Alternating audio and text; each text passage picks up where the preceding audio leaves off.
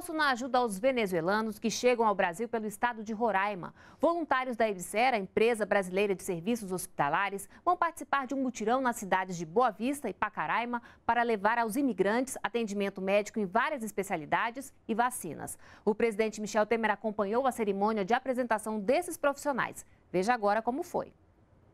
Eu quero cumprimentar, em primeiro lugar, as senhoras e os senhores profissionais da saúde que são voluntários desta ação solidária em Roraima. Não é? Quero cumprimentar o Kleber, o Cieli, o Luna, o Silva Luna, cumprimentar a todos e dizer, em primeiro lugar, que os senhores e as senhoras estão dando um exemplo para o país. Aliás, semana que vem, ou na próxima semana, há o Dia do Voluntário. E o voluntariado é uma coisa que diz respeito a um conceito social. É? As pessoas voluntariamente se dispõem a auxiliar o poder público, que é o que os senhores e as senhoras vão fazer nesse momento. Então, como eu estou vendo que a imprensa está registrando este nosso encontro, eu quero aproveitar para, mais uma vez, dignificar o gesto dos senhores e das senhoras e dizer, e pedir e pleitear que isto sirva de exemplo para outras, para outros estados, para outras regiões, no sentido de termos cada vez mais voluntários para essa tarefa em Roraima. Aliás, o Kleber acabou de me dizer que ainda há outros que irão voluntariamente para esta atividade. Isto é integração, na verdade, da sociedade é, com o poder público.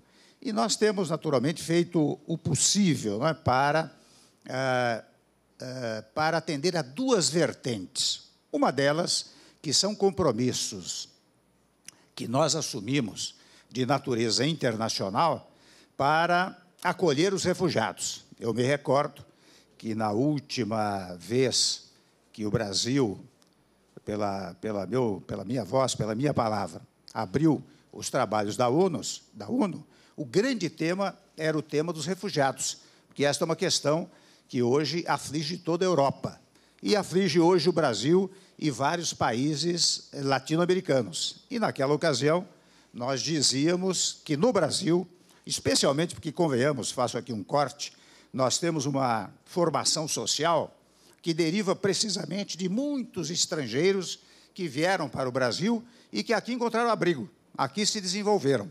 Mas, especialmente agora, com esta situação dramática que vive a Venezuela, não apenas sob o foco político, porque sempre é questionável, e eu digo isso em letras garrafais, a democracia lá existente, mas também há problemas econômicos e sociais da mais variada natureza. Basta dizer que para cá já vieram cerca de 127 mil venezuelanos, mas na Colômbia são mais de 800 mil, Equador mais de 400 mil, uh, ou seja, algo que aflige toda a à América Latina. E vez ou outra, há uma ou outra uh, sugestão, uh, sugestão até pleiteada judicialmente, no sentido de fechar as nossas fronteiras. E eu, desde o primeiro momento, disse que era incogitável e inegociável esta matéria. Nós não temos como fechar fronteiras no nosso país sob pena de praticarmos um ato desumano em relação àqueles que vêm procurar abrigo eh, no nosso país. Então, o primeiro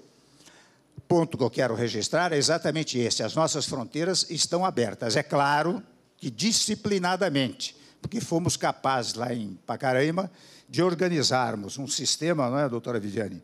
Um sistema eh, de ingresso que, desde logo, importa, por exemplo, na vacinação, na vacinação mais ampla, em relação a todos os eventuais eh, males físicos que a eventual entrada de venezuelanos possa acarretar para o nosso país. Ou seja, é uma proteção a eles próprios e uma proteção ao nosso país. Por outro lado, as medidas que nós temos tomado na, em Roraima não dizem respeito apenas aos venezuelanos. É claro que há esse aspecto, digamos, humanitário, estou repetindo a palavra, de acolhimento daqueles que estão tendo os maiores problemas no seu país. Mas quando agimos em Roraima, também agimos em favor dos brasileiros que estão em Roraima, que convenhamos, Nós temos ciência e consciência de que Roraima é um estado pequeno, de pequenas eh, dimensões econômicas, ah, e, portanto, não pode, não poderia isoladamente suportar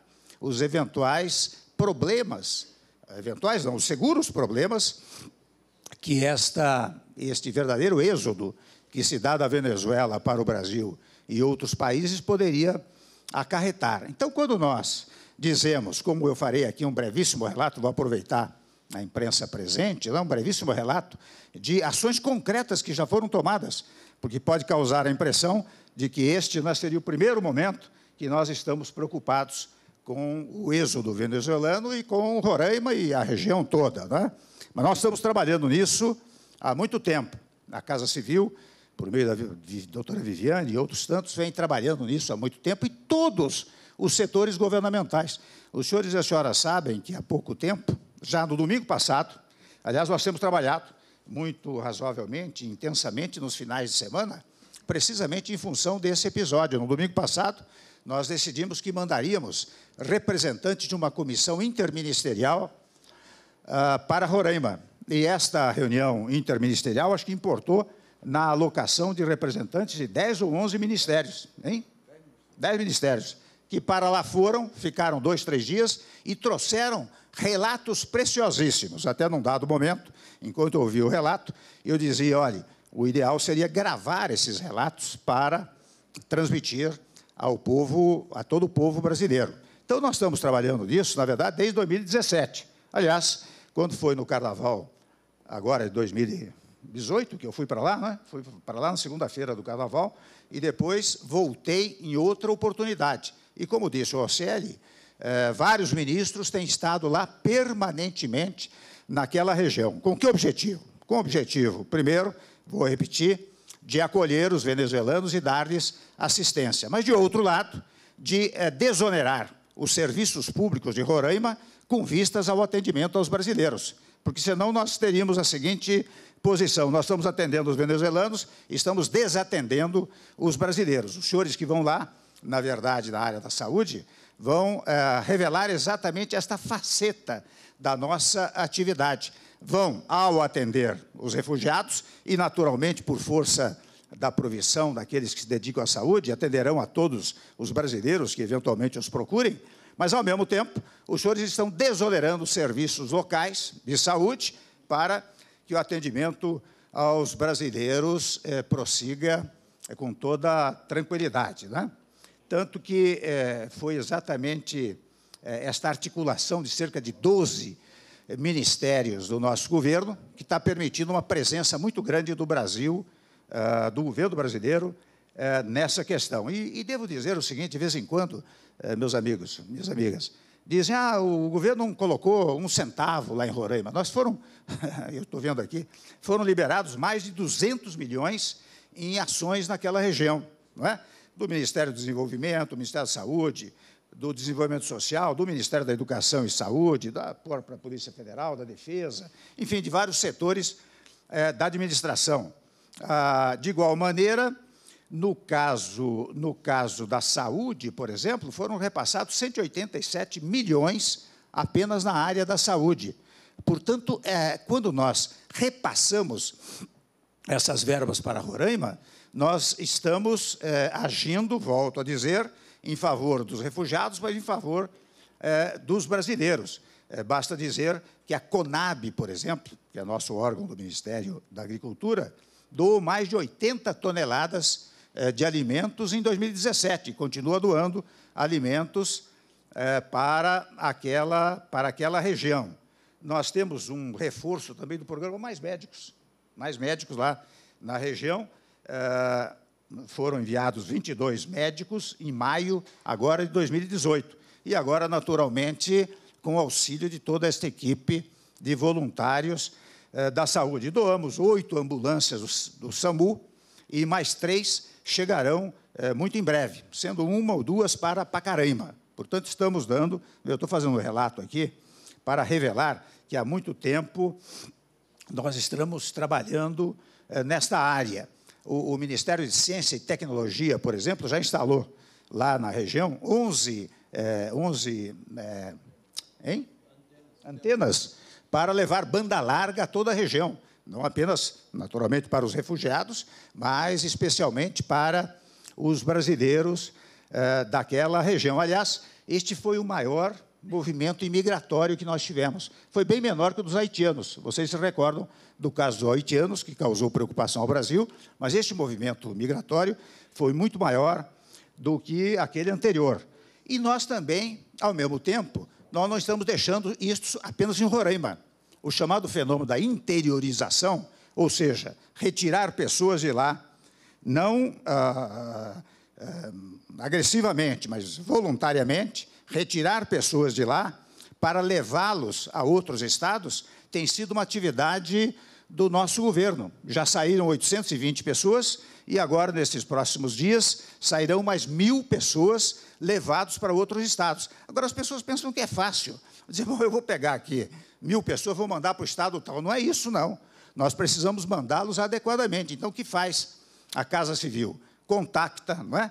os mais variados organismos para alugar é, locais para, para abrigá-los, é, formaliza, às vezes, empregos, é? e com isso nós estamos praticamente retirando pessoas de lá pela chamada interiorização. Agora, há uma interiorização curiosa também, que se dá por vontade própria. Há muitos, vou dar um dado aqui, entraram cerca de 127 mil venezuelanos, mas 60% deles é, passaram por lá como passagem. Foram para Argentina, Equador, Colômbia, ou seja, mais de 60, 70 mil saíram voluntariamente de lá, portanto, apenas usando Roraima como uh, passagem. Portanto, meus amigos, eu, eu tenho a dizer também que, sob o foco assistencial, uh, eu visitei os chamados abrigos, já há 4.700 venezuelanos em abrigos, e abrigos decentíssimos, não é? limpíssimos, com toda assistência. É, até uma coisa emocionante, é uma coisa que me chamou muita atenção, é que nos abrigos há parquinhos infantis, porque há muito criança. E as crianças lá muito felizes, brincando no parquinho, sendo alimentadas e tendo toda, toda assistência. E agora ainda, com mais dois abrigos, penso eu, nós vamos chegar a 6 mil abrigos para 6 mil venezuelanos que podem abrigar-se neste local. Portanto, o que estamos fazendo é precisamente isto, em rápidas palavras, o que já foi feito, o que continuará a ser feito. Mas o que é registrável, enfatizável no dia de hoje, Rosselli, é exatamente o Kleber, é exatamente este fenômeno que vocês conseguiram aqui na empresa brasileira de serviços hospitalares. É, sensibilizar pessoas que voluntariamente se dispõem a ir àquela região, revelando o quê? Revelando o Brasil humanitário. Este dado, até quero muito francamente, agora no dia 22, 23, nós temos novamente a abertura ah, dos trabalhos da ONU, da UNO, e eu quero muito enfatizar este gesto que os senhores e as senhoras estão praticando. Depois eu peço que os senhores me mandem uma foto de todos eles para que eu possa exibir lá ah, na sessão na sessão de abertura dos trabalhos da ONU. Portanto, eu desejo aos senhores uma boa viagem, agradeço a gentileza de cooperarem tão intensamente com o governo e que lá, na verdade, prestem os serviços assistenciais que são devidos a essa gente sofrida, não apenas os venezuelanos que chegam no Brasil, mas também os roraimenses que sofrem com esta com este afluxo, afluxo de venezuelano naquela região. Muito boa viagem e muitas felicidades.